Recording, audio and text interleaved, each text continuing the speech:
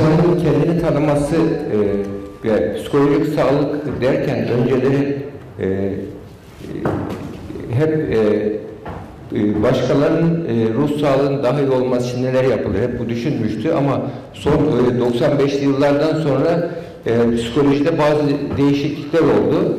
Bu değişikliklerde e, insanın kendini tanıması yani ruh sağlığını e, tanımada çok önemli oldu. Hatta dörde ayrılıyor. Birincisi öz bilinç. Yani kendini tanıması. İkincisi sosyal bilinç. İnsanın diğer insanları tanıması. Sonra öz yönetim geliyor. Kendini yönetebilmesi insanın. Dördüncüsü de ilişki yönetimi. Diğer insanlarla ilişki kurabilmek. İnsanın e, psikolojik sağlığını sadece kişinin e, ruh sağlığı yerinde insan şöyledir tarzında demek yerine e, toplum ruh sağlığının bir parçasıdır insanın ruh sağlığı. Ve bunun da ilk adımı kendini tanımak. Şuna benziyor. Bir e, trafikte e, yola çıkmadan önce bir önünüze harita alıyorsunuz. Haritada e, nerede olduğunuzu bilmezseniz nereye gideceğinizi bilemiyorsunuz. Önce nerede olduğunuzu bilmez. Bir insan da önce kendisini tanıyacak. Güçlü yönleriyle, zayıf yönleriyle, e, kişilik e, e, yapısıyla, sorun çözme stiliyle, ya bütün bunları kendisini tanırsa diğer insanlarla sağlıklı ilişki kurabilir. Psikolojide kendini tanıma hep imal edildi. Hep başkalarını düzeltmek gibi bir e, kavram üzerinde duruldu. Hatta son yıllarda da e, gerçek liderlik derken nöro liderlik olarak geçiyor. Yani kendini yönetemeyen bir kimse ailesini yönetemiyor. Kendisinin lideri olamayan başkasının lideri olamıyor. Bir ailenin lideri olamıyor. Bir e, okulun lideri olamıyor. İş yerinin lideri olamıyor. Önce kendisinin lideri olması gerekiyor. E, kendisini yönetmeyi başarmak da herhalde e, öyle söylendiği kadar kolay değil. Bunu başkalarına çok güzel konferanslar versin. Bir saat hayat dersi versin. Hani hatta filozoflardan birisi şey yapmış. Az konuşmanın faziletlerine dair 4 saat konuşmuş. Bunun için yani kendimizi tanımak e, başkalarına iyi ve güzel anlatmaktan daha önemli. Burada bu resim şunu gösteriyor. Çocuğu görüyorsunuz. Çocuk bir heykeli e, anlamaya çalışıyor, dokunuyor ona, dokunmaya çalışıyor. Ve e, gözlerine, çocuğun beden diline bakarsak çocuk onun canlı olduğunu zannediyor. Yani canlı gibi düşünüyor, onu dokunurken de hareket edecek diye hemen beklenti içerisinde. Şimdi 3 yaşlar civarında bir çocuk bu. Şimdi soyut düşünceyi öğrenememiş bu çocuk. Yani soyut düşünceyle somut düşüncenin ayrımını yapamamış ki 6-7 yaşlarında çocuklar soyut gerçeklikle somut gerçeklik farkı öğrenebiliyor. Yani soyut düşünce bir taşın canlı olup olmayacağını bile çocuk sonradan öğreniyor. Doğuştan öğrenilmiyor. Hatta bununla ilgili e, Afrika'da bir e, gözlem yapılmış. Afrika'da e, kaybolmuş, şey, böyle hiç ormanın içerisinden çıkmamış bir kabile bulunuyor. O kabilede e, dostluk kuruyorlar bir şekilde e, araştırmacılar. Daha sonra onları düz, düz bir alana çıkarıyorlar. Düz bir alana çıkardıklarında şunu görüyorlar. E, o kabilede e, bu bufalo sürüleri var işte o bizon meşhur Af, Af, Afrika'nın e, öküz sürüleri. Onunla karşılaşınca o ormandan hiç çıkmamış kabile böyle elleriyle bu hareketi yapıyorlar. Onun üzerine araştırıyorlar niye bu hareketi yapıyor. O e, hayvan sürülerini sinek zannediyorlar. Sinek gibi kovalamaya çalışıyorlar. Çünkü hiç orman dışına çıkmadıkları için mesafe kavramı düz alanı hiç görmemişler. Mesafeyi algılamamış, algılamıyor beyin. Onu bile sanki sinek gibi algılıyor. Bu bile öğreniliyor. Yani e, hayatta ciddi bir genetik altyapıyla e, e, insan dünyaya geliyor. Büyük bir potansiyeller e, kümesiyle geliyor ama o potansiyellerin içerisinde doldurmak insana e, ait. Yani bu şey gibi bilgisayar alıyorsunuz bir mağazadan. Üzerinde çeşitli programlar var, işletim sistemleri var. Ama bir sene sonra o bilgisayara baktığınız zaman siz kendinizle ilgili bir sürü dosya koymuşsunuz ilk başta olmayan. Değiştirilemeyen dosyalar var. İşte onlar genlerimiz. Daha sonra bizim ona kendi yüklediğimiz bilgiler dosyalarda kişiliğimiz oluşturuyor. Yani benliğimizi oluşturuyor, kim olduğumuzu oluşturuyor. Bu e, doğuştan gelen özelliklerimizle sonradan kazanılan özelliklerimizin hepsinin e, e, yeri ayrı. Devam edebiliriz. Şimdi burada insan beynini görüyorsunuz. Ee, burada sağ beyin, diğer taraf sol beyin. Hangisi kadın beyni, hangisi erkek beyni? Değil mi? Sağ beyin kadın beyni. E, rengarenk, işte neler var? İşte e, estetik algılama var, müzik var, sanat var. E, e, erkek beyni de tamamen tatsız, tuzsuz, renksiz bir beyin. Mantık, muhakeme, analiz, kazaklama. Erkek bay mantıktır. E, kadında bayan e, duygudur. Yani bu e, yaratılıştan erkek beyni, kadın beyni bunu bunu söylediğim zaman, gösterdiğim zaman ilginçtir. Feministler karşı çıkıyorlar. Hocam Ve- bayanlar çoğunlukta diye mi öyle söylüyor? Diyor e, çok ge- bilim, bilimsel gerçek bu. Yani bayanlar şimdi birazdan bayanlara da e, bunların artıları eksileri var. Yani çok öyle e, renkli olmasının av- avantajı e, olduğu gibi dezavantajı da var. Mesela bir alışverişe giderken kadın beyni şöyle e, programlanmıştır. Güzel olsun, hoş olsun der. Erkek beyni de ucuz olsun, kaliteli olsun der alışverişte. Bu, o şekilde onun için alışverişte çok zaman geçirirler kadınlar çünkü rahatlatırlar onu. O güzel olsun, hoş olsun. Terapi gibi etki yapar. Yani erkekte alışverişte son derece şey e, hesap kitap fazla yaptığı için çok sıkılır alışverişte. Bu beynin e, çalışma biçimiyle ilgili erkek beynin kadın beyninin farklı e, e, algılama biçimi farklı. Mesela kadın beyni e, romantizmi yüceltir, erkek beyni erotizmi yüceltir. Erkek beyni. Yani insan ilişkilerinde erkek beyni e, erotik anlamlar yükler konuşulanlara. Mesela bir, birisi bir konuşsa, bir selam verse bir sevimli bir hanım, acaba beni mi arzuluyor gibi düşünür erkek beyni ama kadının hiç aklından bile geçmiyordu. Sadece insani bir şekilde. Bunun gibi erkek beyniyle kadın beyninin e, anlam e, olaylara yük- yüklemesi farklı. Bunu anlamadığı için gençlerimiz, genç kızlarımız çok rahatlıkla erkek toplumunda kendi güzelliklerini sergiliyorlar e, ve bundan da e, erkeklerin ne anladığını e, fark edemiyorlar. Ne etkilediğini fark edemiyorlar. Bu e, ciddi bir e, risk oluşturuyor toplumda. E, yani estetik, yani kadın e, beyinsel olarak kendi güzelliğini sergilemeye e, göre programlanmıştır. Erkekte ona yönelmeye göre programlanmıştır. Beyinsel çalışma. Bu e, ikisinin de psikolojik ihtiyaçlarını aynı zamanda e, risklerini de oluşturur. E, kadın beyninin erkek beyninin farklı olması bunun için önemli. Devam edebiliriz. Şimdi burada meşhur e, Einstein'ı görüyorsunuz.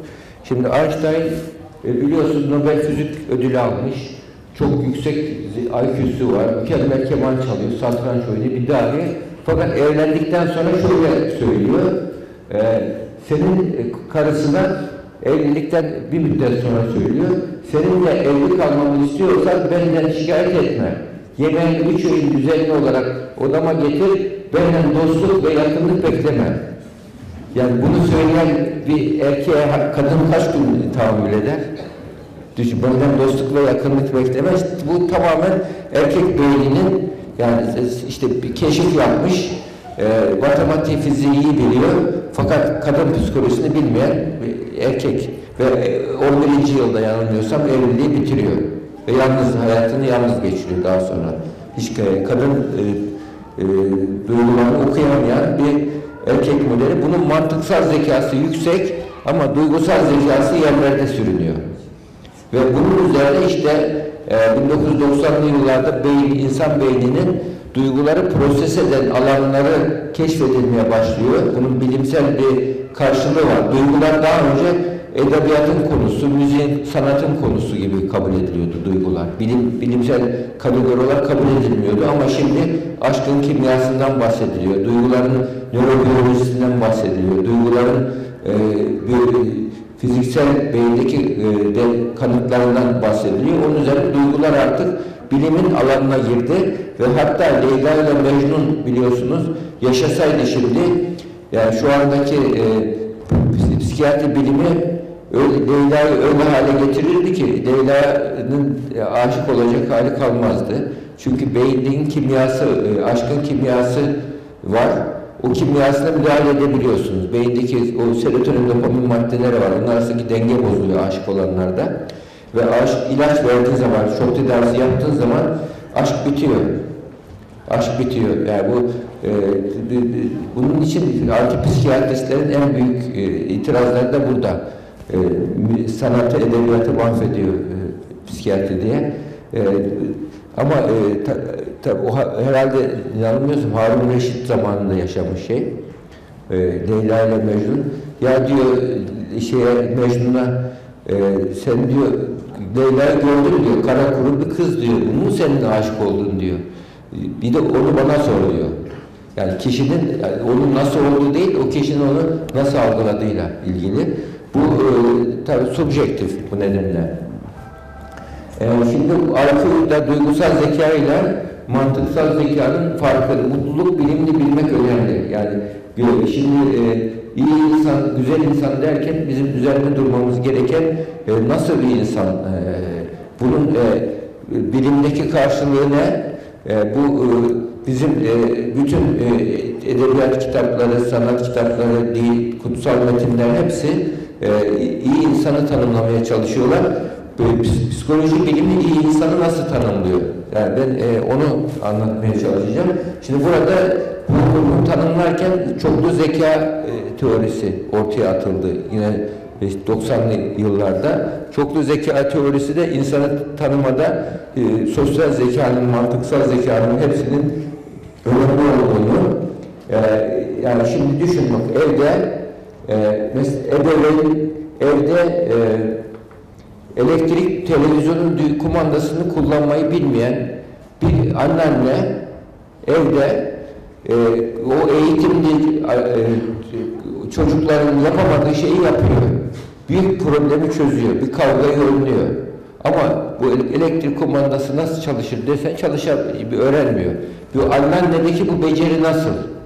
Neden onu yapıyor da diğerleri o koca koca eğitimli üniversite bitirmiş e, eşler basit bir şeyden dolayı tabakları fırlatıyorlar, kavgalar oluyor. Neden oluyor da anneanne geliyor gayet ustaca, zekice çözüyor. İşte bunun farkı bu kadar e, beceriklikle, ustalıkla çözmesinin farkı e, bu e, sosyal beynini anneannenin geliştirmiş olması, duygusal beynini gel- geliştirmiş olması. Bu da bu da bir bilimdir tanımlanıyor, sistematize ediliyor ve öğretilebiliyor. İşte buna mutluluk bilimi olarak deniliyor.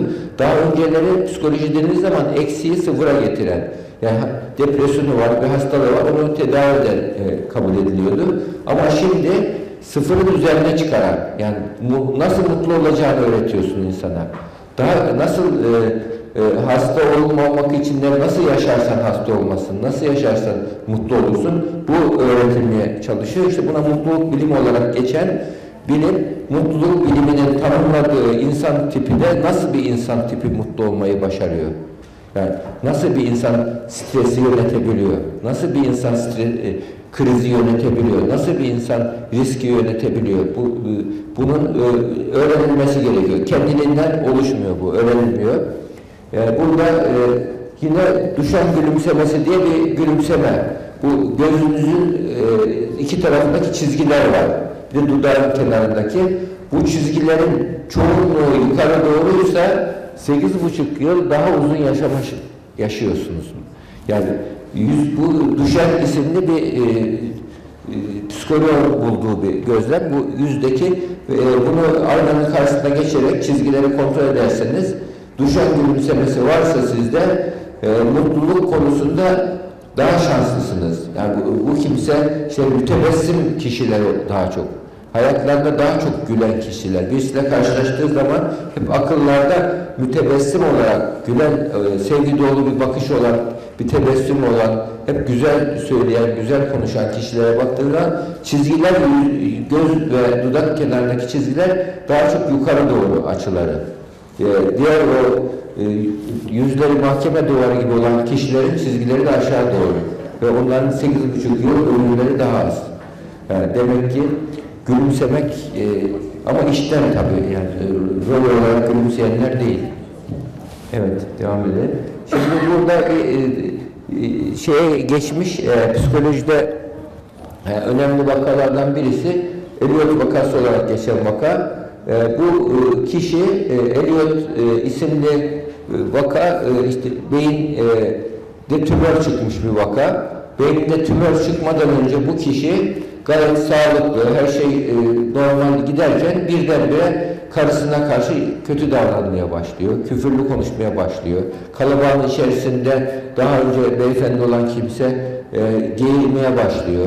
Yani kişilik değişiyor birden. Onun üzerine karısı bunun boşanma davası açıyor bu adam şey diye. E, e, karakteri değişti, e, e, bununla evli yapamam diye. Ve ileri yıllarda bir e, MR çekildiği zaman beynin ön bölgesinde tümör e, çıkıyor.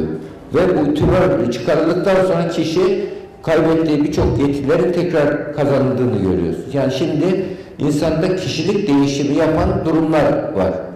İşte bu beyninin ön bölgesi bizim yani insanın ruh yapısının, kişilik yapısının kaydedildiği, proses edildiği, yani beyindeki o konudaki bilgi akışının olduğu, sinyal akışının olduğu, kararların verildiği bölge. O bölgede hasar oluştuğu zaman insanda kişilik değişimi oluyor. Halk arasında kafasına saksı mı düştü, ne oldu bu adam değişti derken aslında e, tesadüfi değil. Yani kafasının bir yerleri e, sarsılınca insanın kişiliği değişebiliyor demek ki. E, atasözlerimizde gerçek paylar da var herhalde. Devam edelim. Şimdi karar vermenin hiyerarşisi. İnsan karar verirken yani il- ilkelere göre karar verebilir, çıkara göre karar verebilir. Yahut da korkuları vardır hayatında, korkular yeter, ona göre karar verebilir. Yani bununla işte kendimizi tanımada karar verirken hangi e, korkuların etkisinde karar, karar veriyoruz? E, hayatla ilgili hedeflerimiz var, bununla mı ilgili karar veriyoruz yoksa çıkarlarımızla mı ilgili karar veriyoruz? Bu bizim e, kendimizi tanımamız ve kişiliğin gelişmesinde önemli. Devam edebiliriz. Şimdi e, bu e, mutluluk bilimin önemli e, kavramlarından birisidir. Esnek optimizm veya otantik mutluluk diye geçiyor. Şimdi yani kişinin e, optimizm biliyorsunuz şey yani e, iyimserlik olabilmesi insanın. Yani iyimser e, düşünebilmek, e, e, optimizm ama polyanlacı olmak değildir optimizm. Polyanlacılık yani her şeyi yani hiçbir e, düşünmeden her şeyi olumluya yormak. Bu bu tarz düşünmek gerçekçi değil, sağlıklı da değil, insanı yanıltır, hata yaptırır. Ama esnek optimizm dediğin zaman, yani esnek iyimser olabilmesi bir insanın böyle durumlarda kendi zayıf yönlerini tanıyor, e, güçlü yönlerini tanıyor ve bunun üzerine bu- bunu e, bildikten sonra iyimser oluyor. Hani Anadolu halk arasında yine bir söz vardır. Kendini kışı hazırla ama yazı bekle diye. Biz kendimizi kışa hazırlayıp kışa beklersek işte optimist olamıyoruz. Esnek optimist olabilmek için kendimizi e, kışa hazırlayacağız ama yazı bekleyeceğiz. Olumsuza kendimizi hazırlayacağız ama olumluyu bekleyeceğiz. Eğer bunu yaparsak esnek optimizm oluyor. Ya da otantik mutluluk, halis mutluluk derken böyle da olsun mutlu olayım, buna da sahip olayım mutlu olayım, evim olsun, arabam olsun mutlu olayım değil. Kişinin mutluluğu dış nedene bağlamayan, iç nedene bağlayan mutluluk. Yani sıradan şeylerle mutlu olmak, e, basit şeylerle, küçük şeylerle mutlu olmayı başarabilmek. Her yani bazı ağaçlar vardır böyle e, dört mevsim meyve verir. Yaz, kış meyve verir. İşte insan öyle mutlu olur. Her mevsimde meyve veren ağaç gibi her şartta mutlu olmayı başarabilmek. Otantik mutluluk denilen. Yani zindanda bile mutlu olabilir bunu, bunu öğrenen bir kimse. Ama e, ben öyle bir e, hanımefendi biliyorum. Ya doktor bey dedi, "hmm, pırlanta yüzüklerim var dedi, spor arabam var dedi, havuzlu villam var dedi, her şeyim var ama gene mutlu değilim. Çünkü mutluluğu hep bir, bir şunun olsun mutlu olayım, bunun olsun mutlu olayım tarzında bir e, şart, dış şarta bağlamış. Bu maalesef modernizm ve kapital sistem bunu bize e, öngörüyor, bunu ta- bize tavsiye ediyor. Bu, bu tarzdaki mutluluk e, e, kişiye dış nedene bağladığı için o nedenleri insanın her zaman kontrol edemiyor. Kontrol edemeyeceği şeye bağlı bir mutlu- mutluluk kişiye zarar verir ama kontrol edebileceği şeye bağlı mutluluk insanda e, kalıcı mutluluğa sebep oluyor ki buna işte otantik halis mutluluk olarak söylenen kişinin kontrol edebileceği şeyle ilgili mutlu olması. Kontrol edemeyeceği şeyle e, mutlu mu olsun yani sınıfı geçersen mutlu oluyor tarzındaki bir düşünce e, hoş bir şey ama geçemezsen eğer mutlu mutsuz olacaksın. Yani burada sonuca değil sürece odaklanmayı söylüyoruz öğrencilere. Yani kontrol edebileceğin şey nedir? Günde 100 tane soru çözmek mesela. Günde şu kadar saat çalışmaktır. Bunu, bunu yapıp yapmadığına göre kendine mutlu olmaya karar ver. Yani not alıp almamaya göre değil. Zaten günde belli saat çalışırsan, belli bir ım, zaman harcarsan otomatikman zaten sonuç iyi oluyor çoğu zaman. Ama sürekli acaba sınıfı geçecek miyim? Acaba notum şöyle olacak mı? Yani onu not, notun, kon- e, notun iyi olduğu olması bir öğrenci için kontrol edemeyeceği bir şey. Çünkü o gün hasta olur, ateşi çıkar, sınava giremez, başka zor soru çıkar, olmaz. Ama elimden şu kadar saat çalışırsam diye doğru hedef koyarsa kendisine buna e, halis mutluluk, otantik mutluluk dediğimiz hem mutlu hem başarılı olabilen insan böyle ortaya çıkıyor. Öbür türlü kapital sistem zaten e, insan odaklı bir sistem değil. Yani yarışımı teşvik etmiş, rekabetçilik adı altında yarış e, tüketim e, tüketim odaklı. Yani şuna sahip ol, mutlu ol. E, 10 kişi yarışıyor, ilk üçü mutlu oluyor, 7 kişi kaybediyor. Ne kadar sistem e, şey olsa bile e, e,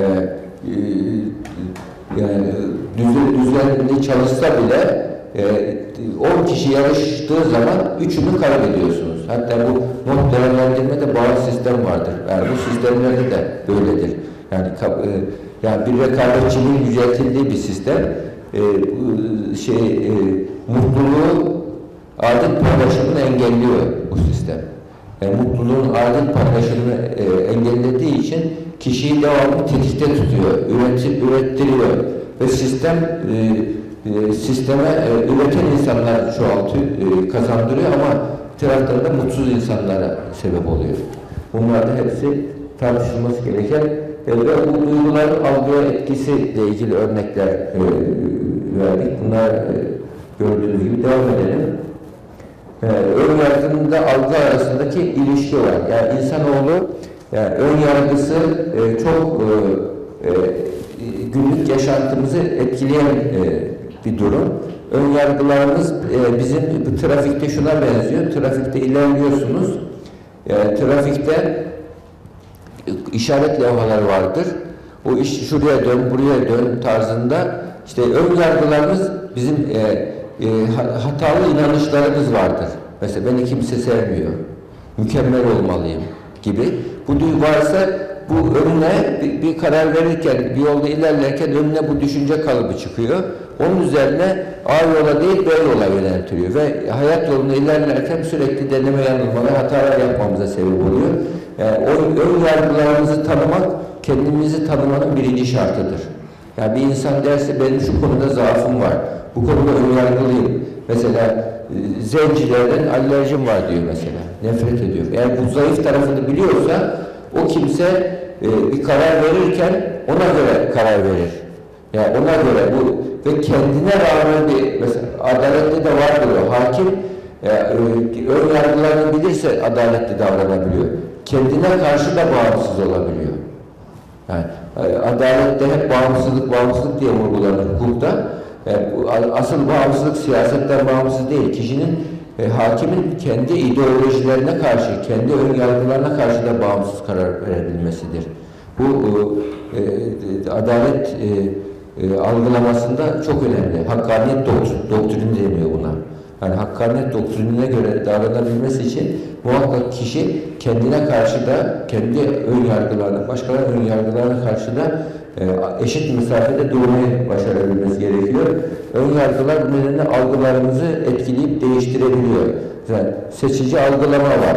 Mesela bir anne çocuk e, e, ağladığı zaman çok derin uykudadır. Topraklasan duymaz ama çocuğu ağladığı zaman hemen uyanır uykudan. Niye? Seçici algılama var. Yani seçici algılama var. O algılama nedeniyle çocuğunla ilgili konularda ve kişi uyuyor ama beyin uyumuyor o konuda. Beyin hemen tetikte. Ha, e, mesela inatçı adam, inatçı kişilerde de e, olaylar karşısında e, esnek olmayı başaramayan kişi, kişi- kişilerdir. Hatta espri olarak onlara da ke- keçici algılama diyorlar diyebilirsiniz. İnatçı yani. Her şeyi e, hayır demeye yatkın kişilerdir. İnatçıdırlar. E, böyle evlilikten önce bizim hocalarımızın birisinin bir sözü vardır. Ya e, evleneceğiniz zaman üç şeye dikkat edin de- demişti. Hiç unutmam. Bir demişti e, Allah'tan korksun. Allah'tan korkuyorsa bu insan gizli kötülük yapmaz. İkincisi kuldan utansın. Kuldan, toplumdan utanıyorsa e, açıktan kötülük yapmaz. Üçüncüsü de inatçı olmasın. O, yeter. E, daha fazla incelemeyin evlilikte demişti. Herhalde gerçeklik payı var. Evet, devam edelim. Evet, burada kuantum temelli düşünce dediğimizdeki düşünce sisteminde e, insanın e, şu anda bi- bilimin e, insanı tanımakta e, e, kuantum temelli düşünce e, gerçekten birçok e, e, psikoloji bilimini de etkiledi. Kuantumla psikolojinin alakası var diye, diyebilirsiniz ama e, ku- kuantum temelli düşünce sistemi dediğimizde biz e, yani insanın e, bütüncül düşünmesini sağlıyoruz ki bu, bunun en güzel örneği e, Mevlana'nın fil tarifi örneği vardır. Körlerin fil tarifi örneği. Körlerin fil tarifinde biliyorsunuz nereyi tutuyorsa kör fil bunlar ibarettir diyor. Hortumu tutuyorsa fil böyle yuvarlak bir şeydir diyor. E, kulağını tutuyorsa böyle yassı bir şeydir diyor. Fil tarifi öyle. Halbuki bütünü göremiyor. Ama e, bütünü görebilmek e, kişi, için kişinin e, kuş bakışı bakması lazım. Buna psikolojide altı yönlü algı deniyor. Bir küp e, var. Küpün altı tane yön- yüzü var. Her bir yüzde bir fotoğraf var. Ona hangi taraftan bakıyorsun o yönde ilgili üç fotoğrafı görürsünüz. Altı fotoğrafı görebilmeniz için onun bütün etrafını incelemeniz lazım. Bir olayı ele aldığımızda altı yönlü algılamayla bakabilmek. Kim söyledi, ne zaman söyledi, nerede söyledi, niçin söyledi, nasıl söyledi. Bütün bunlar bu beynimizde çünkü bunun bir karşılığı var beynimiz. Beynimizde kim network'ü var. Nasıl network'ü var, niçin network'ü var. Her bilgiyi beyne kaydederken kim network'üne kaydediyorsunuz. O e, kimi kaydetmesiz nerede, nasıla, niçine e, bu işte 5N 1K diye bilinen iletişimcilerin kullandığı teknoloji şeyi o be- kim, ne, nerede, ne zaman, nasıl, niçin bu aslında Kanadalı bir psikolog buluyor bunu. Hafızanın altı saatlik bekçisi diye buluyor. Bu altı soruyu beyne bilgiyi sorarak bilgiyi kaydederseniz o bilgi unut- unutulmuyor. Taşa yazılmış gibi oluyor. Ama sadece kim söylediğinden kaydederseniz o kimi unuttuğunuz zaman bilgiyi hatırlayamıyorsunuz. Ama kim söyledi, nerede söyledi, nasıl söyledi, niçin söyledi, bütün bunlarla birlikte ilk kaydederken beyni öyle kaydederseniz o bilgi kolay kolay unutulmuyor. Yani bu işte e, e, kuantum temelli algılamanın yönlerinden birisi yani evreni bir bütün olarak görebilmek. E, kuantumda biliyorsunuz subjektif e, gözlemci insan. Yani geç, e, insan hem var hem yok. Yani bizim şu anda madde dediğimiz şey aslında bizim gözlemlediğimiz şey. Ee, e, insan e, şu anda madde dediğimiz şey aslında e, kuantum evrende bizim yok dediğimiz şey hiçbir şey vardan yok olmuyor, yoktan da var olmuyor. Tezini çürüttü kuantum. Onun için materyalizmin temeli çürümüş oldu böylece. Çünkü bizim yok oluyor dediğimiz şey bilgi evrensel akışta var. Evrensel akışta var. Bizim şu anda e, önümüzde bunun en güzel örneği de şeydir. Bilgisayarda gençler PlayStation oynuyorlar biliyoruz. PlayStation'da bir futbol oynuyorlar. Topu vurduğu zaman gol olup olmayacağını o oradaki oyuncu bilmiyor. Bilmiyor. Sen yani oynarken onu bilmiyorsun ama programı yazan biliyor onu. Diyor ki hangi açıdan nasıl vurarsa gol olacağını biliyor. Program, programı bilen bir kimse onu bilir. Yani şimdi de bizim kader dediğimiz şey aslında programda yaptığımız seçimlerdir. Eğer o seçimde bu seçimi yapsak önümüze o çıkıyor. Bu seçimi yapsak önümüze bu çıkıyor. Ama her seçimde aslında programda var. Biz o anda subjektif gözlemci olduğumuz ne yaparsak önümüze o çıkıyor. Ve kaderimiz olarak o çıkıyor önümüze. Yani uçağa bineceksin, eğer uçağa bineceğin, o uçağın düşeceğini bilgisi sana bir şekilde e, programı yazan tarafından geliyorsa sen uçağa binmesen kurtuluyorsun. Bunun gibi. Hatta e, bir oyunlar var mesela bir kümes besliyorsun şimdi. E, ona su vereceksin, e, yiyecek veriyorsun, hayvan çoğalıyor.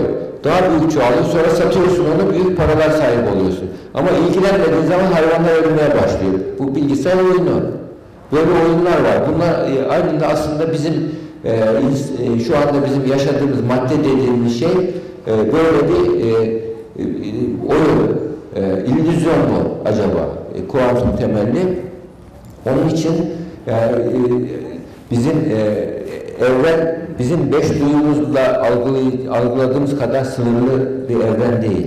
Beş duyumuzun çok daha ötesinde e, e, iyi ve kötülerin her şeyin kaydedildiği, yazıldığı bir kuantum e, temelli bir evren var. Bu evren içerisinde hiçbir bilgi, hiçbir iyilik boşa gitmiyor, hiçbir kötülük de karşılıksız kalmıyor, kalmayacak.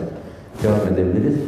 Şimdi e, nöro yönetim diyagramı dediğimizde şimdi çeşitli zekalardan duygusal zeka, sosyal zeka, e, beden zekası, mantıksal zeka dedik. Mesela beden zekası nedir? Sporcularda üstündür. Kendini disipline edebilen kişilerde. Ne zaman kalkacak, ne zaman yatacak, işte e, kurallara uyacak. Yani sporcular bunu iyi yaparlar. E, sosyal zeka insan ilişkilerinde e, doğru kararlar verip doğru şekilde yönetirler. Duygusal zekadan bahsettik. Bu birazdan onun değerlerinden de bahsedeceğiz. Bütün bunlar üzerinde hepsiyle bağlantısı olan bir vicdani zeka da var. Bu vicdani zeka ne olduğunu birazdan e, anlayabiliriz. Devam edelim. Şimdi bu e, zeka türleri işte nöropsikolojik bakış açısıyla mantıksal zeka, duygusal zeka gibi zeka türleri var. Fiziksel zeka disiplin önemli. E, e, e, sosyal zekada ilişki yönetimi önemli. E, spiritüel zekaya, vicdanlı zeka de- denilen zekada da ahlaki akıl yürütme vardır bunda. Ahlaki kararlar verirken ilkelere göre hareket etmek, şahsi çıkarlara göre değil. Bu da vicdanlı zeka olarak da diyebileceğimiz zeka, yani empatinin yüksek olduğu zeka türü. Evet, devam edelim.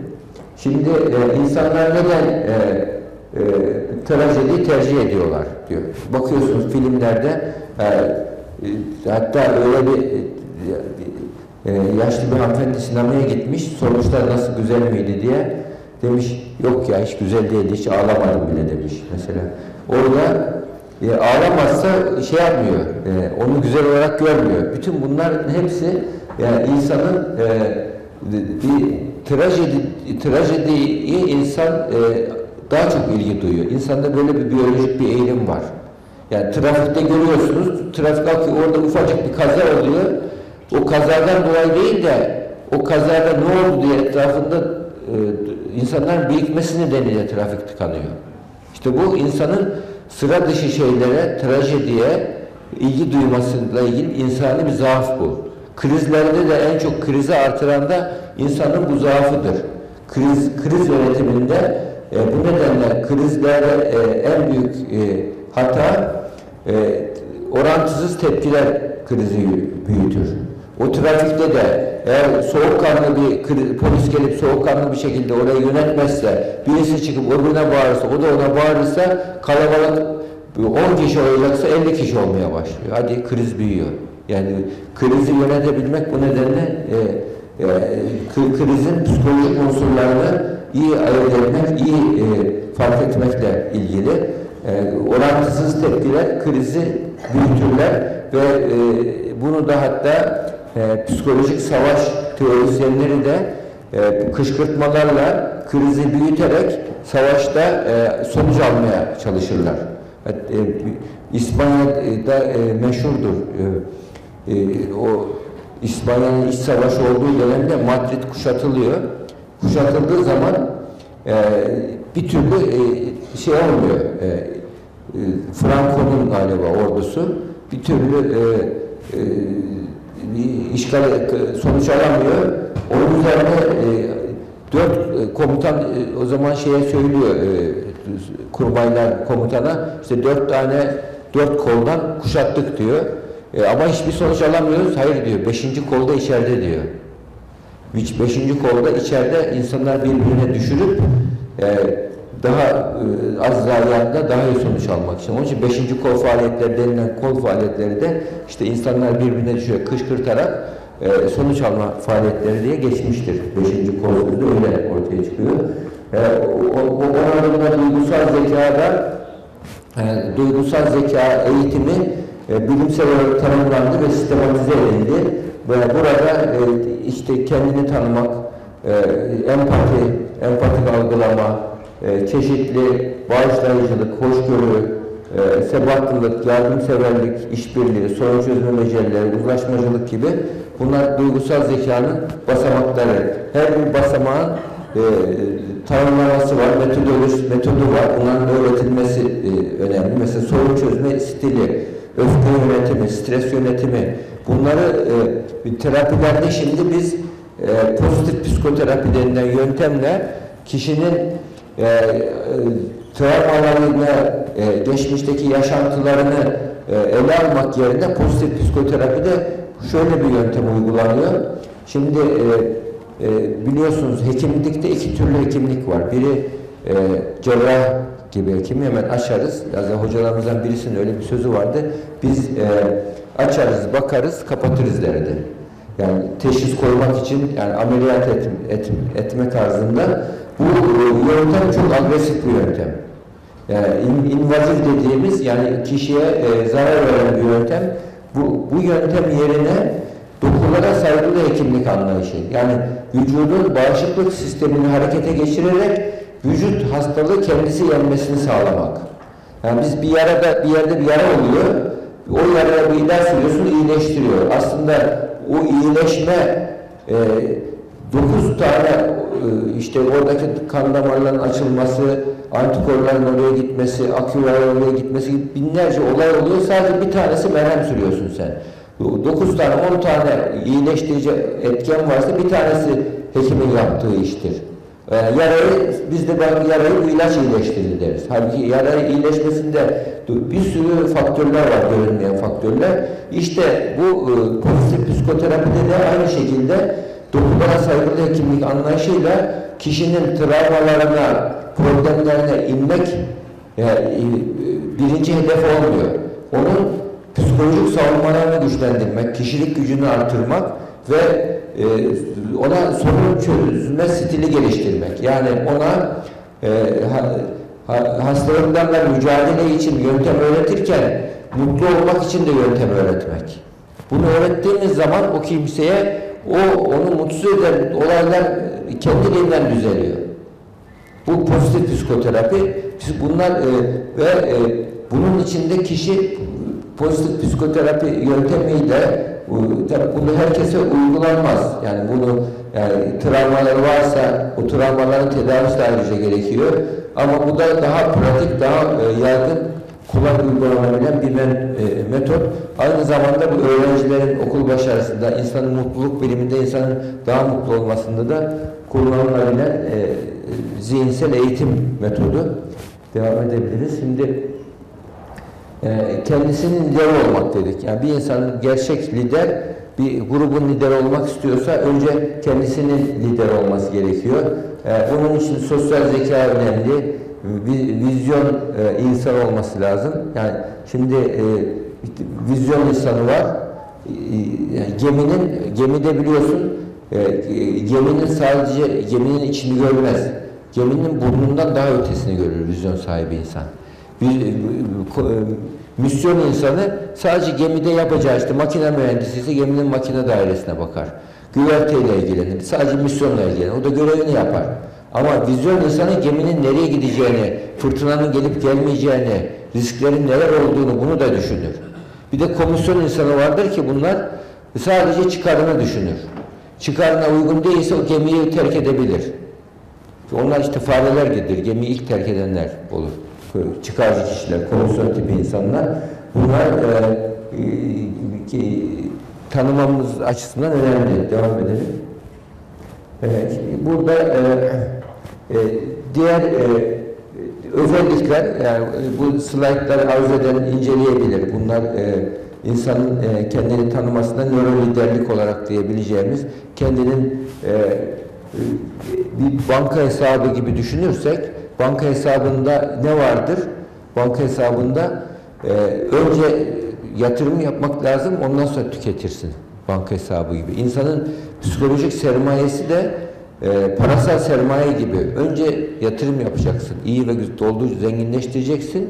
Ondan sonra onu e, kar ve zarar hesabına göre artıracaksın veya azaltacaksınız. İnsanın her davranışı da e, bir yatırım gerekiyor. İyi ve güzel davranışı, iyi insan, doğru insan, güzel insan olmak istiyorsak bunun için önce yatırım yapmamız gerekiyor. Bu özellikleri kendi psikolojik sermaye olarak, sosyal sermaye olarak kendi dünyamızda bunun yatırımını yapıp zenginleştireceğiz. Ondan sonra bunu bu zengin olursak e, bu konuda e, e, azaldığı zaman riskleri de görürüz. Artırmanın yollarını da öğreniriz. Burada her davranışın e, kar ve zarar analizlerinin yapılarak bir kaynak yönetimi mantığıyla insanın ruh yapısının yönetilmesi. Kaynak yönetimi. Mesela mutluluk bunun için e, kaynak yönetimi gibi yönetilir. Kaynak önce üretilir sonra tüketilir. Yani üretmeden ekonomik değer gibidir. Şimdi psikolojik sermaye, sosyal sermaye, mutluluk da bir ekonomik değer gibi. Önce üreteceksin sonra tüketeceksin. E, insan, biz de istiyoruz ki mutluluk sanki hiç emek vermeden, yorulmadan hemen mutlu olalım. Yok, mutluluk yatırım gerektiriyor. Evlilikte mutluluk böyle. Kendi iş dünyamızda kendimize barışlık olmak öyle. Yaşadığımız toplumda öyle. Eğer bu konuya yatırım yaparsanız, kafa yorarsanız, bununla ilgili e, üretimler, zihinsel emek çile çekerseniz onunla ilgili sermayeniz gelişiyor, kaynağınız gelişiyor. Daha sonra o kaynağı doğru şekilde yönetirseniz mutluluk ortaya çıkıyor. Hatta şuna benzetilebilir. Bir fabrika düşünün. Fabrikada kaliteli mal üretilmesi, o gün kaliteli mal üretilmesi yetmez. Fabrikada toplam kalite önemli. Bir, beş sene önce de beş sene sonra sürdürülebilir mi bu kalite?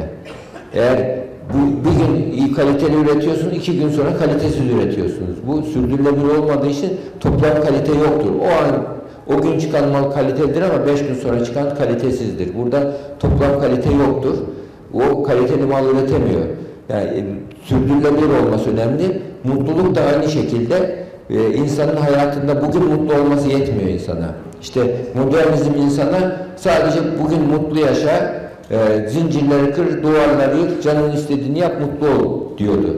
Halbuki toplam mutlulukta insanın hayatının sonunda geldiği zaman mutluluğunu şöyle bir baktığı zaman gerçek mutluluk, toplam mutluluk hayatın sonunda anlaşılıyor.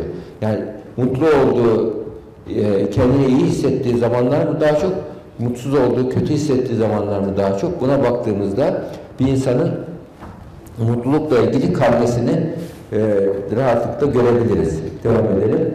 İşte mantıksal zeka dedik, bunlar e, idealist insan, hayal kurabilmek. Yani mantıksal zekası olan insanın özellikleri, e, mantık, muhakeme, analiz, konuşma, hesaplama gibi. E, devam edelim. Burada duygusal zekanın değerleri ve özelliklerini görüyorsunuz. Yani duygusal zekası yüksek olan kişiler kolay ümitsizliğe düşmeyen kişiler, empati yapabilen kişiler, başkalarının duygusal okul yazarlı olan kişiler, başkalarının duygularını, kendi duygularını okumayı başarabilen kişiler. Devam edelim. Şimdi bedensel zekası bu disiplinli olan, kendisini e, geliştirebilen, yani e, iş disiplin yapabilen kişiler, nerede durabileceğini bilen, bu da hatta beyninin dur, düşün, yap diye beynin ön bölgesinin bir fonksiyonu vardır. Dur, düşün ondan sonra yap tarzında. Bazı insanlar önce yapar sonra düşünürler. Halbuki e, bu e, iç zek, e, bedensel zekaları e, şeyler kendi beyinlerinde fren mekanizmaları daha iyi gelişmiş kişilerdir. E, dur düşün yap derken hiperaktif çocuklarda vardır. Biliyorsun hiperaktif çocuğu olanlar bilir. Hiperaktif çocukların üç önemli özelliği var. Birincisi aşırı hareketlidirler. Aşırı hareketten düz duvara tırmanan dediğimiz ve kafasında 58 diş, dikiş olan çocuk biliyorum. Hatta acile getirmişlerdi çocuğun kafasında e, kesik vardı. E, işte o zaman e, ben asistanlık yıllarından hatırlıyorum. Dik- dikiş atacağım çocuğun kafası cilt iğne batıracağım acımasın diye bir lokal anestezi yapmak istedim. Annesi dedi yok yok dedi bu alışkan dedi hiç uyuşturmaya lüzum yok doktor bey dedi. Hemen dikiş at dedi ve baktım çocuğun kafası harita gibi. Çocuk şey hiperaktif ağaçlardan tepelerden inmiyor. Bu hastalık. Mesela o zamanlar bunun hastalık olduğu bilinmiyordu. Yaramaz diye biliniyordu. Beynin ön bölgesinde dopamin maddesi eksik olduğu anlaşılmış bu çocuklarda. Bu çocuklarda beyinde dur düşün yap yapamıyor. Önce yapıyor sonra düşünüyor. Önce söylüyor sonra düşünüyor.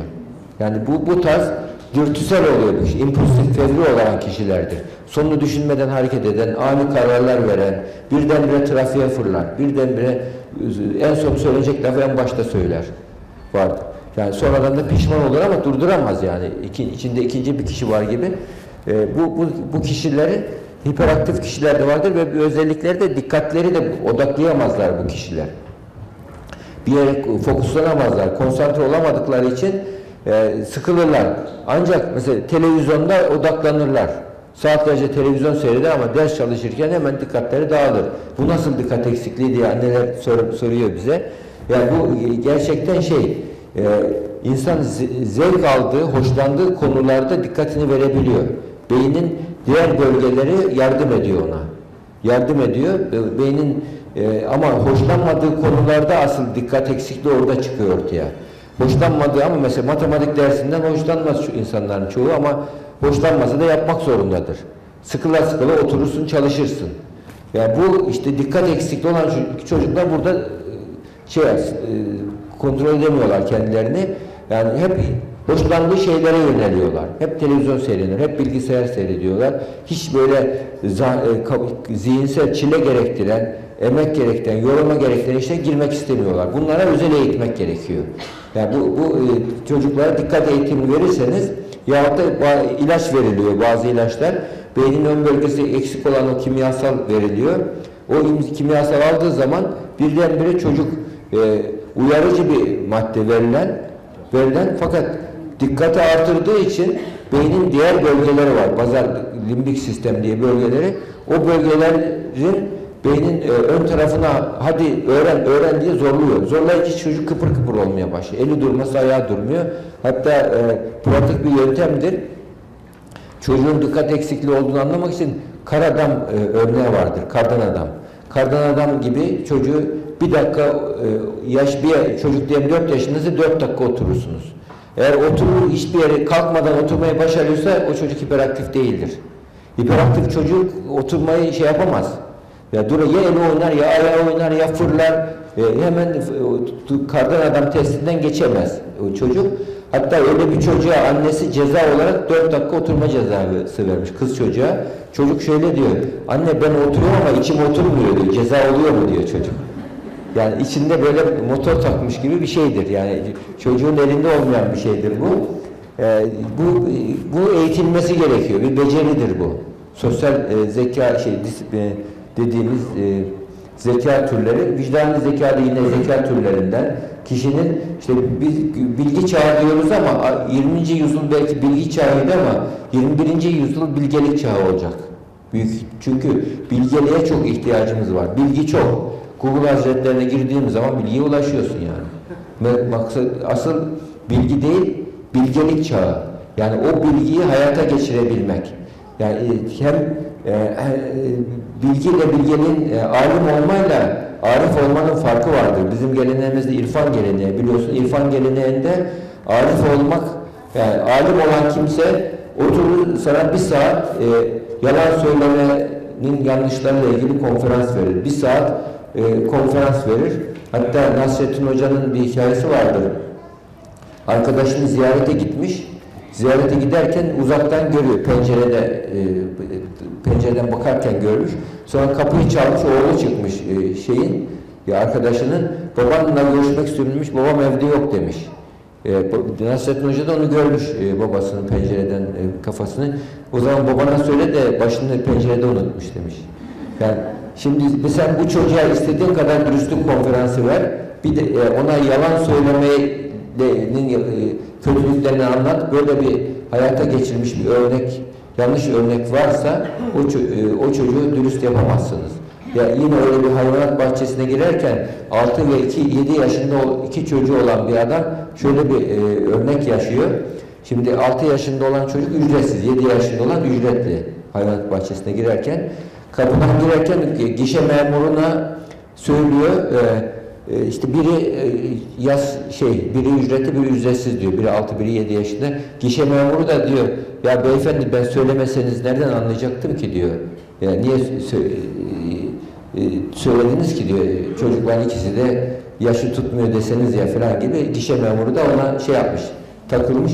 Bana siz e, siz anlamazsınız ama onlar anlar diyor. Onlar biliyor diyor. Siz bilmiyorsan onlar biliyor diyor. Ve o çocuklara e, e, ders amacıyla yani orada gişe biz ne yapıyoruz şimdi? E, Ne açık gözlük zannediyoruz onu. Oradaki iç- içisine. O çocuk da daha sonra ne oluyor? Yalan söylemeyi bir sonuç alma yöntemi olarak görüyor. Yani, e, ve bu ileride onun önüne e, dürüst olmayan bir kişi çıkıyor ortaya. Bunun için bilgelik öğretilmesi, öğrenilmesi gerekiyor. Bilgi ayrı, bilgelik ayrı. Bilgelik e, davranışlarla örnek olarak ancak öğreniliyor. Kitaplardan öğrenilmiyor. Konferanslarla da öğrenilmiyor, yaşayarak öğreniliyor. Çünkü insanın beyninin öğrenme modeli olaylar, e, sözleri sözlü olarak kaydediyor beyin ama davranış öğretmek istiyorsak davranışları canlı davranışlardan, örnek olaylardan beyin kaydeder. Kalıcı bellekte tutabiliyor. Kalıcı bellekte tutması için canlı örnekler görmesi lazım.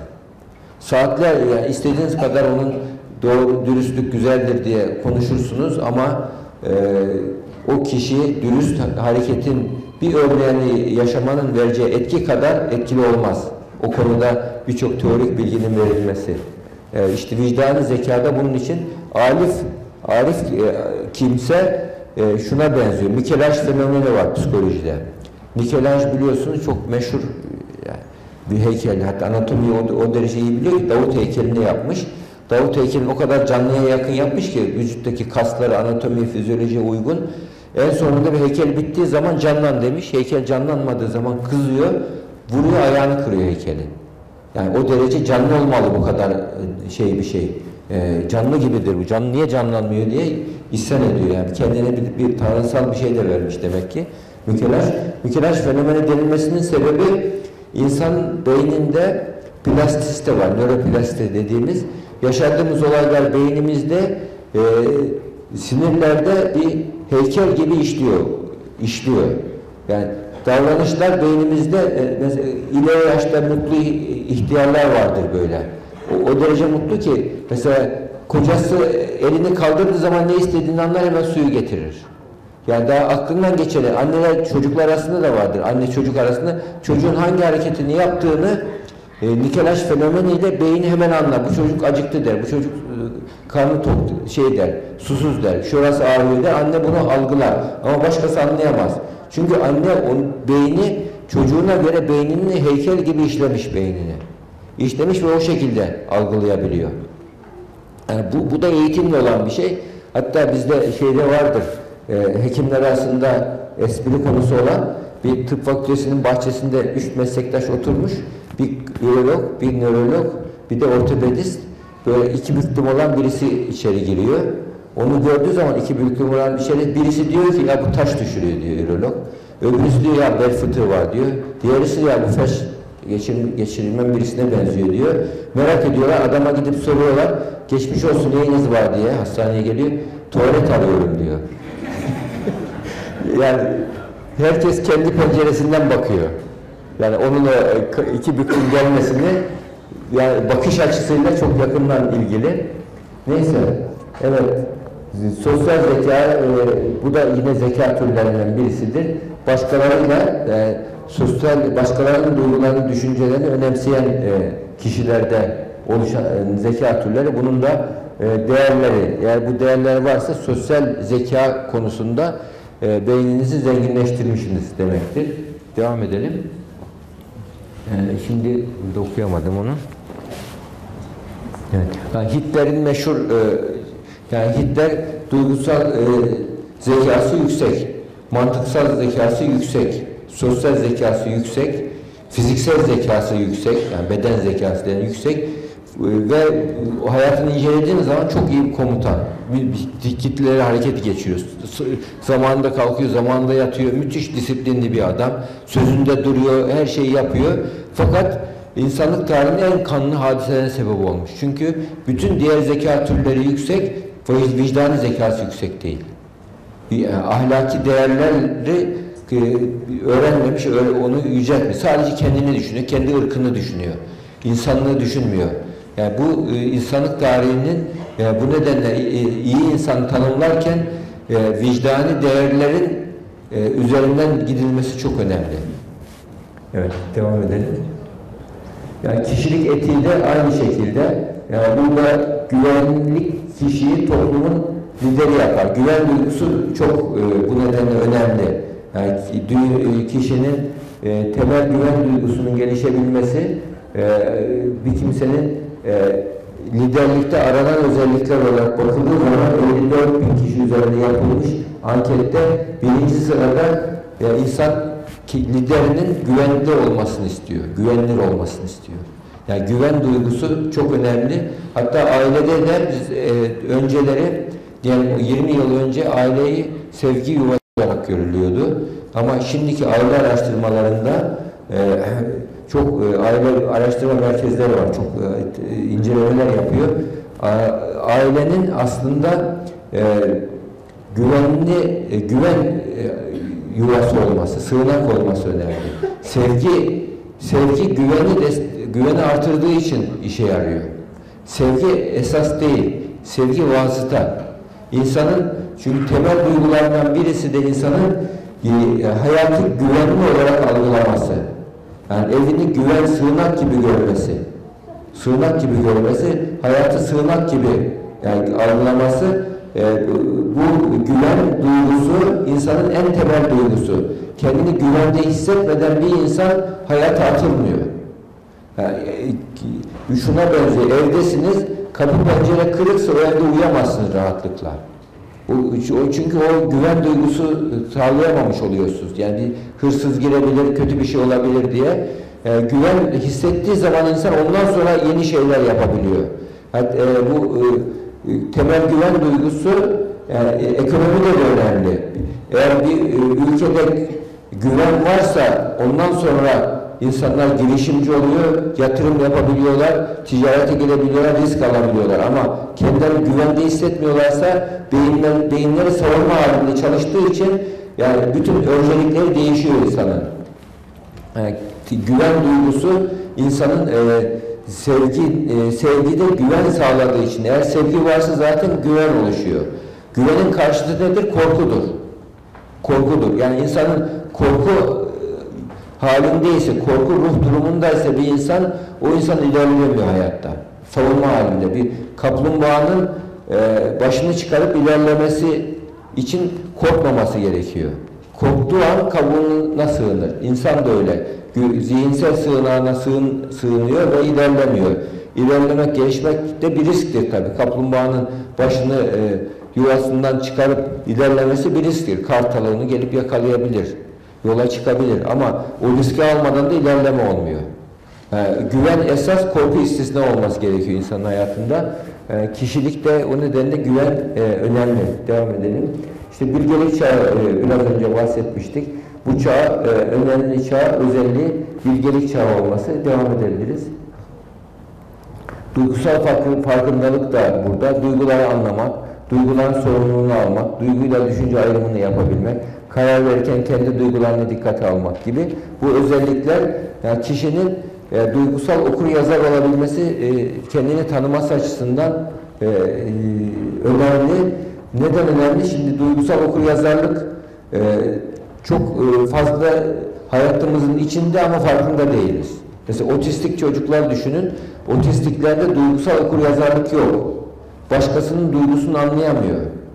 E, bir, bir çocuk ağlıyor diyelim. Yani bir yaşındaki bir çocuk e, daha gelişimin, e, hayatının gelişimin ilk evrelerinde olduğu için yani bir, bir yaşındaki çocuk ağladığı zaman odada bulan bir yaşında başka çocuk varsa o da başlar ağlamaya. Niye? Çünkü kendi duygularıyla başkasının duygusu arasındaki farkı beyinleri daha ö- öğrenmemiştir. Onun için o acı çeken kendi acısıyla başkasının acısını aynı zanneder. O da başta ağlar. Büyüdükçe gerçeklik algısı geliştikçe onun acısı benim e, onun onun eli acıyor der. Benim değil der ağlamaz. Bu, bu iş duygusal okur yazarlık başlıyor. Otistiklerde bu duygusal okur yazarlık yok. Yani başkalarının duygularla kendi duyguları arasındaki sınırları öğrenememiş oluyorlar. E, hatta o Asperger sendromu diye bir hastalık var. Otizmin şeyidir bu. E, bir türüdür. Yüksek fonksiyonlu otistlerdir. Savak adam olarak, yağmur e, adam olarak bilinen yani beyinlerinde deha adacıkları var bu kişilerin. E, diyelim e, Şubat'ın 28'i ne dersen çarşamba deyiverir size. Ama e, tıraş olmayı bece- beceremez. Bir, oturup birisinin üzüldüğünü anlayamaz. Oturup sosyal bir temas kuramaz. Sosyalliği öğrenemez. Mesela e, sosyal e, sağ beyin özelliğidir o. Nonverbal iletişim olarak geçer. Sağ beyin öğrenme güçlüğü vardır bunlar. Sosyalliği öğrenemezler. Ama mantıksal olarak, matematiksel olarak çok süper şeyler. Bir kütüphane gibi, bilgisayar gibi işte 4 basamaklı 4, 4423 ile 2583'ü çarp dersin hemen ezbere çarpar söyler. Ama oturup e, bir sohbet edemez seninle. Bir e, ihtiyacı, temel ihtiyacı gideremez. Yalnız yaşarlar, otistik yaşarlar. Bu bir hastalık. İşte beynin sosyal beynin gelişememesiyle ilgili hastalık. Bunun için duyguları okuyup yazabilmek çok önemli. Pozitif psikolojinin biraz ya bahsettiğim otantik mutluluk devam geçelim bundan. Geçelim. Mutluluk e, mutluluk e, riski e, önlemek mi yoksa e, mutluluğu aramak mı riski önlemek önlemek? İşte statikocu kişiler vardır. Hep riskten riski engellemek için şunu yaparsam başıma bu gelir diye hayatlarında korku egemendir. Statikocudular bunlar. Sahip oldukları şeyi kaybetmemeyi hayatlarında e, ön plana almışlardır. Girişimciliğe e, aykırı şeydir bu. E, aykırıdır girişimciliğe. Girişimciliği e, engeller. Bunun kültürel boyutu da vardır. E, kişinin egosu yüksek kişiler aynı zamanda sahip olduğu şeyleri kaybetmekten korkan kişilerdir. Neofobi dediğimiz yani yenilikten korkan kişilerdir. St- Statikocu kişiler e, e, toplumun gelişmesini engelleyen kişilerdir. Yeniliği arama davranışı yoktur. E, Bu kişiler gelişmemiştir. E, mevcutla yetinmek, e, risklerden kaçınmayı daha önemserler ve bu, bu e, aile şirketlerini batıran da bu duygudur işte. Mesela aile şirketleri var. Mesela baba aileyi kurmuştur. Şey, e, iş yerini kurmuştur, fabrikayı kurmuştur, belli bir noktaya getirmiştir. Artık onu kaybetmekten korkuyordur. Yeni yatırım yapamaz, riske giremez. Çocuklar baba şunu da yapalım, şunu da alalım, şuraya e, borca girelim, şunu yapalım dediği zaman yok aman olmaz, aman kaybederiz falan hep böyle şey yaparlar. Risk, riske engellemek hayatlarında birinci planda olmuştur. Ve böyle olunca toplumsal rekabette geri kalırlar. Geri kalırlar. Birileri onu geçer. 5 sene 10 sene sonra ya oğlum bizim oğlan haklıymış der ama artık işten geçmiştir. Yani burada e, riski engellemek değil, hayatta mutluluğu arama davranışı için, mutluluk için risk almak gerekiyor hayatta. Risk almadan ilerleyemiyorsunuz. Yani risk almak bununla ilgili e, insanda diğer canlılardan farklı bir genetik e, yapı. Diğer insanda hatta bazı insanlar şanslı diye bilinen insanlar vardır. Şanslı insanlar. Bunun üzerine bir araştırma yapılıyor. E, deftere e, çeşitli resimler koyuluyor. O resmin içerisinde bir yere şöyle yazıyor. Bu yazıyı okuyan 300 dolar kazanacaktır diyor. O re- deftere dağıtıyorlar, topluyorlar e, deneklerden. Sonra içerisinden bazı kişiler o küçük yazıyı fark edip okuyorlar. Ama büyük çoğunluğu okumuyor onu. O- görmemiş o yazıyı. Daha sonra oradaki yazıyı fark edip okuyan kişilerin kişilik özelliklerini araştırıyorlar. Dört tane ortak kişilik özelliği çıkıyor. Yani o yazıyı şanslı diye bilinen kişiler bunlar olduğu görülüyor. Yani şanslı bilinen kişilerde bir e, bir e, ince bir fark bir şey fark ediyorlar. Dört özellikleri var. Birinci özellikleri bu kişilerde e, yeni, yeniliği arama davranışları var. Yeni, de, yeni deneyimlere açık kişiler. Yeni deneyimlere açık kişiler. Yani bu kişiler yani farklı düşünü görebiliyor. Yani kendisine sunulanı değil, sunulmayanı da anlamaya çalışıyor. Farklı düşünen. İkinci özellikleri e, optimist kişiler, iyimser kişiler. kendilerini güvende hissediyorlar, iyimser hissediyor, rahatlıkla riske girebiliyorlar. Üçüncü özellikleri olumlu algılayan kişiler oldukları tespit edilmiş. Olumluyu çok fazla gören ve kararlarda sezgileriyle hareket eden, iç sezgilerini dinleyen, iç sesli dinleyen kişiler. Bu dört özellikler nedeniyle bu kişiler hani bir söz vardır ya şans akılla fırsatın kesiştiği nokta. E, Herkesin önüne fırsat geliyor. Şanslı, şanslı denilen kişiler aslında şanslı olduklarından değil. O akıllarını kullanıp o fırsatı yakalayabiliyorlar, görebiliyorlar. Akılla fırsatın, şans akılla fırsatın kesiştiği nokta derken işte yeni deneyime açık olmak, o- olumlu düşünmek, e, kişinin e, sezgi karar verirken e, yüzde yüz de karar vermeye çalışmamak, iç sesini dinleyip hemen e, karar vermek sınavlarda vardır bu öğrenci. Yani burada bir okulda olduğumuz için bu da önemli, eğitimciler bilir. Mesela test yaparken dört seçenek var. Hangisinin doğru olduğunu yüzde yüz biliyorsan işaretliyorsun bu doğru diye.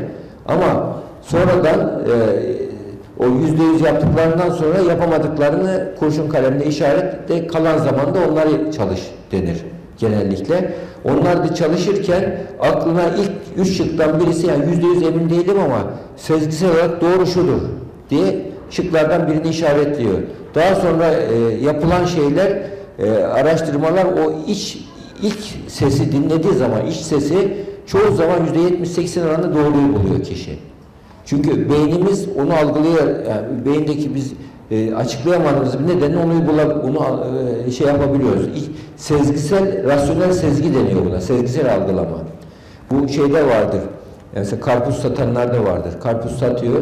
Ki, hangisinin kelek olup olmadığını sen baksan yüzde elli ancak tutturursun. Yüzlerce karpuzu şey yapsan kelek olduğunu ama karpuz devamlı e, o karpuz ticareti bu abi iyi der. Açarsın hakikaten iyi çıkar. Ama sen yapsan yarısı kelek çıkar. Şimdi on, sen nereden bildin bunu, nasıl tutturuyorsun dediği zaman valla bilmiyorum anlıyorum ben der. İşte bu sezgisel algılama ama eşit elinden 5000 tane karpuz geçmiştir o kişinin. Yapa yapa yapa beceri kazanmıştır ve zihin iç sesi doğru söylüyor ona. Onun için sezgisel iç sesi dinleyebilmek de insanda e, başarıya götürebilen bir şey ama onun için de bir önceden bir yatırım gerekiyor tabii. Bir emek gerekiyor, bir e, altyapı gerekiyor. Evet, devam edelim. Evet, mutluluk yatırım gerektirir. Bundan söz etmiştik. Devam edelim. Pozitif psikoloji ve Mevlana. Burada e, Mevlana'dan söz etmeden e, geçmek doğru değil gerçekten. E, insan pozitif psikoloji e, olarak ele aldığımızda e, bizim e, pozitif psikolojideki nefis terbiyesi olarak e, Mevlana'nın tasavvufun bize öğrettiği şeyleri bakıyorsunuz pozitif psikoloji bi- bilimsel terminolojiyle yeniden sunmuş. Kendini tanımak gibi e, çeşitli e, aynı şekilde yaklaşıyor. ve benzer sistematize edip bize sunulmuş. Bu Mevlana'nın e, bunun e, e, öğretisiyle şeyin e, pozitif psikoloji öğretisinin birbirine çok benzer olduğunu bilmekte fayda var. Devam edelim. Evet ve burada çok zeka yine söylediğim gibi e, Mevla'nın en büyük amacı bu amaca ulaşmak için olağanüstü bir projenin olduğunu görüyoruz. Şimdi bunlar bütün bunlar ya Mevlana'nın iyi insan tanımlamasıyla e, şu anda e, pozitif psikolojinin iyi insan tanımlaması çok birbirine örtüşüyor. De- devam edelim. Evet. Burada e, ahlakı akıl yürütmede somut değerlere göre olur. Soyut e, değerlere göre düşünmek vardır. Bir de yüksek değerlere göre düşünmek vardır. Şimdi somut değerlere göre düşen görünene göre karar verir. Soyut değer, değerlere göre düşünen kimse de niyete göre karar verir. Ama e, kişi yüksek değerlerle düşünüyorsa toplumsal faydaya göre karar verir insanlar. Bu ya, gemi aynı gemideyiz düşüncesiyle bu benim çıkarıma ama geminin çıkarına mı? Geminin çıkarına ise kendisi çıkarırsa çelişirse geminin çıkarını tercih eder. Çünkü aynı gemideyiz. Gemi batarsa herkes zarar görecek diye. Ama böyle insanlar sadece kendi çıkarını düşünürler. Ahlak, akıl yürütmede bu nedenle önemli. Devam edelim. Evet, burada ya Mevlana'nın çok güzel, e, yandan ben tam okuyamıyorum, Mevlana'nın bu sözlerini e, baktığımızda yani Mevlana'nın söylediği sözler insanın aslında mutluluk biliminin söylediği sözlerle çok güzel örtüşüyor. Yani e, Mevlana. Evet, devam edelim. Ve e, son söz olarak iyi insan olmak bu dünyada yaşamak için ödediğimiz kiradır diye bir söz. Yani iyi insan olmak, yani iyi insan olmak güzeldir, hoştur. İyi insan e, olmak iyidir değil. Bu insan olduğumuz için, kedi, köpek, kuş, ağaç, böcek olmadığımız için, bir insan olduğumuz için bir karşılığı var bunun, bir bedeli var, bir kirası var. O kirada iyi insan olmaktır. Bu nedenle iyi insan olmayı bir insan olsa olur, olması da olur değil, olması gereken bir kavram olarak bilmesi gerekir. Sabırla dinlediğiniz teşekkür ederim.